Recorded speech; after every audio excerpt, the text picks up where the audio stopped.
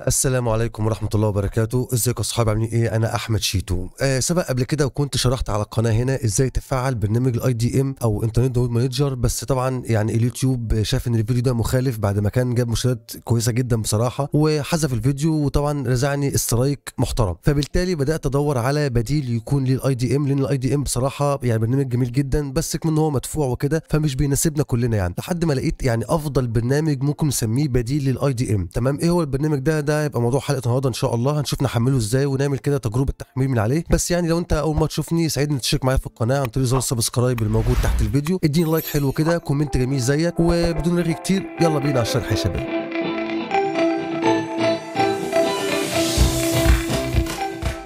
آه طب يا جماعة رجعنا طول بعد ال intro. كالعادة نخش على طول في موضوع الحلقة طيب بصوا يا شباب أنا هسيب لكم آه ال link ده في صندوق الوصف. ده link الموقع الرسمي بتاع البرنامج. انت هتحمله هنا طبعا لو انت Mac أو آه يعني اللي هو Apple يعني أو انت Windows. طبعا خلينا في ال Windows اضغط عليه كده. أنا طبعا محمله مسبقا قبل كده. المهم انت هينزل معاك بشكل طبيعي جدا. هو البرنامج مساحته صغيرة يعني البرنامج مساحته كام؟ يعني ما جابش حتى 1 ميجا بايت. المهم double click على البرنامج كده. هنا أقول له مثلا create ماشي اللي هو يعمل shortcut يعني البرنامج install بس خلاص اتثبت. بص يا جماعة البرنامج يعني صغير جدا. البرنامج ده أول ما تشغله معاك دي الواجهة بتاعته ما تلعبش في أي حاجة خالص فيه. هو البرنامج متظبط ومتروق وكل حاجة يعني حتى الإعداد بتاعته مش محتاج تعمل فيها أي حاجة ولا حاجة خالص. كل بس محتاجين نعمله أنت هتخش عندك هنا على ال browsers تمام؟ وهتيجي مثلا هنا عند Google Chrome. شوف بقى لو أنت بتستخدم Google Chrome أو Firefox أو ال Microsoft Edge على حسب أنت بتستخدم إيه. هنفترض مثلا أنت بتستخدم Google Chrome اضغط اللي هو add Chrome extension دي وهتيجي هنا تقول له هنا الاضافه إلى كروم اضغط عليها بس قول له هنا add extension تمام كده خلاص هي اتضافت معانا ظهرت معانا فوق هنا اهي. تمام طيب ده أنا مثلا يا عم شيتو ما بستخدمش Google Chrome أنا مثلا واحد بستخدم ال Firefox. بنفس الطريقة برضو اضغط على add Firefox extension هيفتح لك الصفحة دي قول له هنا add to Firefox.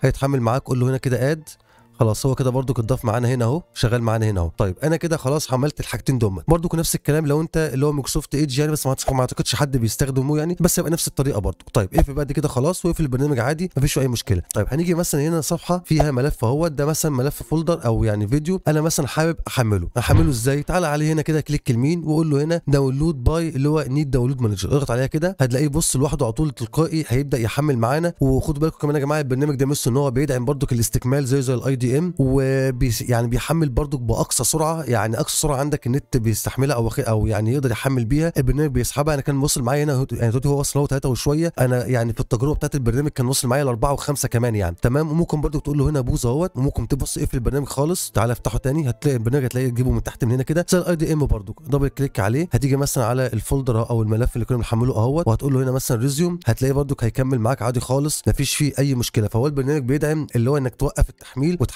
تاني. فبس البرنامج ده بقى أو يعني اللي بيميزه عن ال IDM إن هو مجانا. مش هيجي يقول لك بقى بعد 30 يوم سجل ولا مش سجل ولا الكلام ده كله. فبس يا شباب بصراحة أنا شايف إن هو الموضوع يعني ما فيش فيه أي حاجة ثانية ممكن تعملها. كله مثلا pause. ممكن بقى لو أنت حابب تلعب شوية في البرنامج كده يعني ممكن تيجي برضو هنا على ال setting وتيجي هنا في ال download ال download دي. أنت هنا مثلا لو أنت عايز تحدد مكان معين ال ال الحاجات اللي أنت هتحملها تنزل فيه مثلا. فأنت بس لازم تعملها folder الأول. لو فرضا مثلا هرمي الحاجات دي على ال desktop فرضا يعني. هتيجي على ال desktop اعمل مثلا هنا كده new folder وسميه مثلا هنا نت download مثلا أي حاجة يعني سميه أي اسم أنت عايزه. هتقول له مثلا download وهتيجي هنا كده تضغط على ثلاث نقط دمك هتيجي على ال desktop كده هتلاقي أهو ال folder اللي هو اسمه net download ده اقف عليه وقول له هنا select folder. بعد كده قول له هنا كده خلاص OK. بس هو كده خلاص أي حاجة هتنزل بعد كده في التحميل أو حاجة هينزل لك في ال folder اللي أنت عامله ده. عايز تعمله بقى عندك في ال C أو يعني في ال desktop أو في ال D أو في أي version عندك بمنتهى البساطة. فبس يا شباب ده كانت حلقة النهارده أو كان موضوع النهارده. لو عجبك الشرح ما تبخلش عليا ب like comment جميل زي كده. لو أنت مش مشترك في القناة اسألني طبعا انضم للقناه عن طريق زر subscribe وبس لو عندك أي مشكلة اكتبها لي في